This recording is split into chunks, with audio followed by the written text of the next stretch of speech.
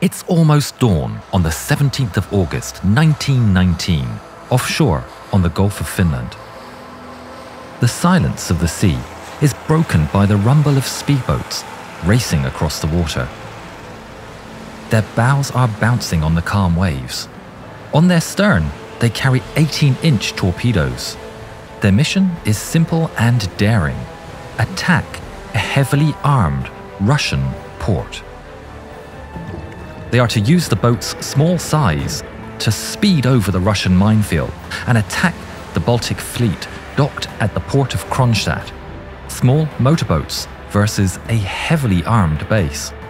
The British are trying to prevent the Bolshevik forces from using their fleet against the Estonians, who are fighting a desperate war for independence against the Bolshevik Russians. And you too can feel the might of commanding a fleet with the sponsor of today's video, World of Warships. Take on the adventure of sea and steel that World of Warships has to offer. It's a naval combat game available on PC for free. World of Warships has multiple ship classes to choose from, and it has astonishing new graphics that will take your breath away. And now, more than 40 unique maps with dynamic weather and cutting edge water effects that make the game seas virtually indistinguishable from the real thing. World of Warships is a unique digital museum and it has new content released every month. So get on board now. Try out this great nautical experience yourself, which is also available on consoles. And now, from November the 15th through to December the 13th, World of Warships is running a treasure hunt where you can earn in game and real life prizes just for playing the game and inviting your friends. Support the channel and download World of Warships using the link in the description. We hope to see you in World of Warships today. Back on the Gulf of Finland, commanding the 2nd Coastal Motorboat in the V formation is Lieutenant William Hamilton Bremner. He is to be the first to jump into the mouth of the harbour.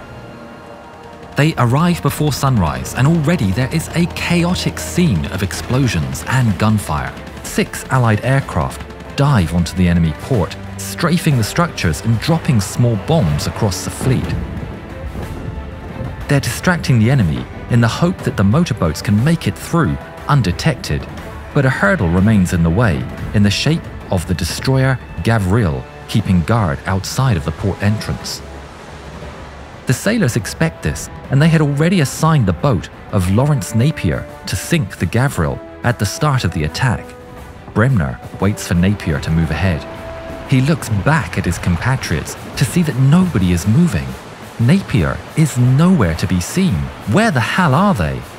Little does he know that three of the boats had veered off course and were running late, among them Napier's. With the firefight raging ahead of him and the knowledge that every second waiting means more risk for themselves and the planes, Bremner decides he's going in anyway. His boat springs to life and accelerates swiftly towards the harbour entrance. The gunners in the Gavril are busy shooting at the sky and completely fail to see as Bremner sails right past them. He slows down by the entrance, expecting there to be a chain boom that he'd have to clear, but fortunately, the entrance is wide open.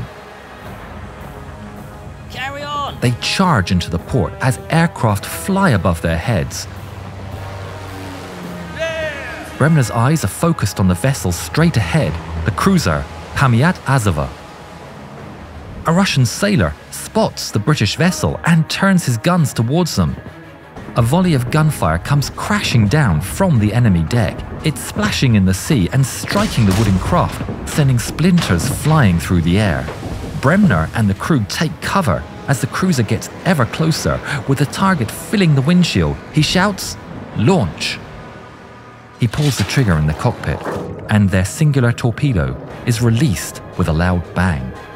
It slides backwards and plunges into the boat's wake, its course defined. The helmsman turns a sharp right and away from their collision course. They're running away from the cruiser, still assaulted by the gunfire, when Bremner feels a punch on his lower back.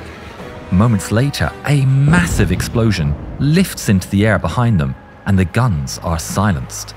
The torpedo has blown a lethal wound in the Pamiat Azova's hull, and she gradually sinks into the port. Bremner orders his boat to a corner of the harbour, giving room to the other motorboats to maneuver. While they wait, Bremner checks himself. He finds two bad splinter impacts, but even worse, he realizes he's just been shot. Ahead of them, they witness multiple massive explosions, rocking other target vessels, the work of their allies. Meanwhile, outside the harbour, two of the three lost motorboats arrive on the scene, and one of them is none other than Lawrence Napier. He sees the battle unfolding and the still intact Gavril firing away. Without a moment of hesitation, he orders to charge for the furious giant. The men of the Gavril spot the incoming vessel, and their guns turn onto the British. A storm of bullets befalls a little motorboat as they approach maximum speed. They drop their torpedo and steer swiftly for safety as they hope the payload to strike home. But no explosion ever comes. They've missed. Shells and machine gun fire tear the little boat to shreds until it slows to a crawl and sinks into the sea with their target untouched. Inside the harbour, Bremner is feeling the pressure to get out as fast as possible, but he knows that the second wave of British boats is incoming. Suddenly, searchlights lock on to Bremner's speedboat, blinding the crew with their shine. They're unable to see properly, and nobody on board the boat notices as they wander across the harbour entrance. Simultaneously, Commander Frank Braid and his men are charging in, struggling with much the same problem. In a blur, Braid's speeding motorboat slams into the side of Bremner's, shattering the plywood hull almost in half and wedging the machines together. The men can barely process what's happened before machine gun emplacements from the harbour walls open fire on the stationary and brightly illuminated vessels. In the middle of the bullet storm, Bremner and his crew hastily push Braid's boat free as their own sinks under their feet. As Braid's boat breaks free and Bremner's is sinking, the men swiftly board the one remaining speedboat that's still afloat as bullets crack above their heads and slam into the wood. The last soul is hauled on board, and Braid shouts to get them out of there immediately. The boat roars, turning right around and racing back out to sea. They exit the port to be met by the onslaught of a still intact Gavril. The Gavril's 102mm guns fire, launching 37.5 pound shells, along with a never ending storm of lower caliber rounds, straight for the little machine. With two torpedoes still at their disposal, Braid resolves to use them. Charge. Incredibly, the small motorboat accelerates towards the Gavril as their flurry of projectiles splash all around. Impacts appear on the boat's bow, and some strike the unfortunate crew, including Bremner for a second time. The men push on through the deadly hail as they await Braid's orders to launch, but it wouldn't come. A bullet strikes Braid square in the chest, and he collapses on the side of the motorboat, lifeless.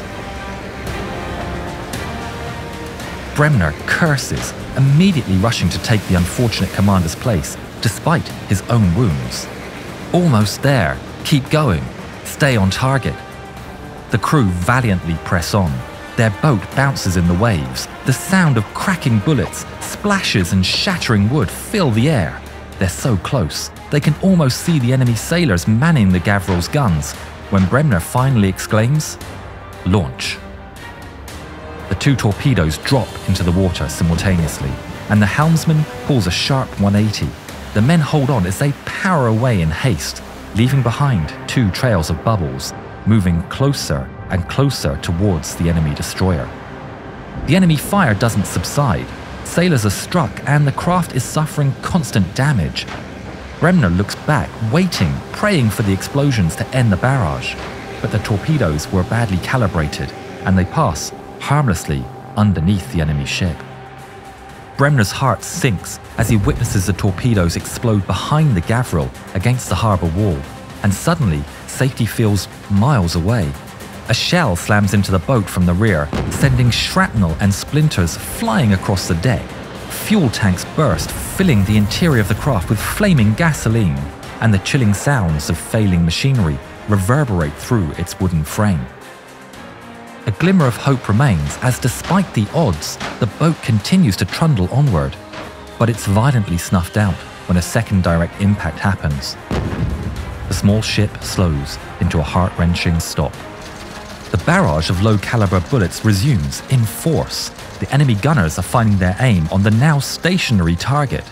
Two brave sailors man the double Lewis gun turrets and fire back with all they have, but it's pointless against a destroyer. Other sailors abandon ship, choosing the frigid waters over the rain of steel.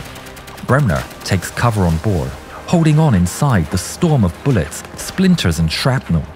The little craft is torn to pieces by the savage barrage. Water is pouring in through the rapidly growing number of strikes, yet still they fight on until they are all taken by the Gulf of Finland's cold embrace. After the dust settled, three out of the eight boats that took part in the attack would never return. Eight British sailors would be killed and nine taken prisoner. Nevertheless, the raid was a success. The British sunk a depot cruiser and critically damaged a battleship, which couldn't be repaired. These losses kept the one surviving battleship in port for the rest of the Estonian War of Independence. Miraculously, William Bremner would survive the encounter. A Russian paddle boat picked him up from the sea just 10 minutes after the battle. He was struck 11 times, most of which being hits from wooden fragments. He was tended to in the port's naval hospital alongside other survivors and was taken as a prisoner of war. He was kept in Kresty prison for six months before being released in a prisoner exchange on the 4th of February 1920. Upon his return to London, he was awarded the Distinguished Service Order for his valiant actions during the raid. He continued to serve in the Royal Navy and MI6 throughout World War II before retiring. William Hamilton Bremner passed away peacefully in 1970, aged 75. If you haven't yet, please subscribe to the channel and please watch more videos of ours. Thank you.